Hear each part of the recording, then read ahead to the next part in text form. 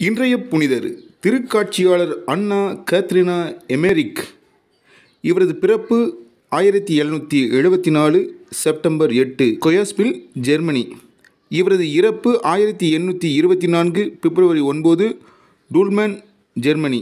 இவர் சிறு வயதிலிருந்தே மிகுந்த பக்தியுள்ளவராக திகழ்ந்தார்.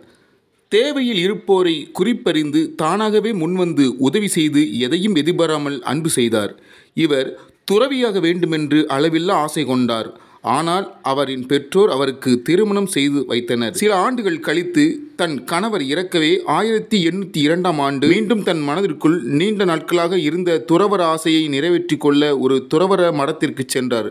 புனித அகஸ்டின் துறவர மடத்தில் சேர்ந்து இவர் இரவும் பகலும் இடைவிடாமல் ஜபத்தில் ஈடுபட்டார்.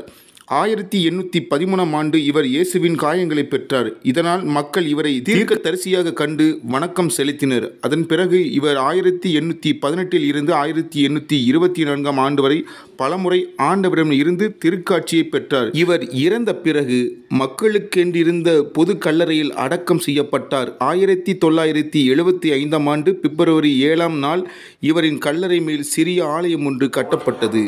ஜெபம் நல்ல ஆயனாம் இறைவா உம்மீது செய்து கொண்ட அளவில்லா அன்பினால் உமது திருக்காயங்களை கொடையாக பெற்றார். உமது இரக்கத்தினால் நாங்கள் உம்மை இறுக பற்றிக்கொண்டு உமது பாதையில் எம்மை பயணிக்கச் செய்திருளும். ஆமேன்.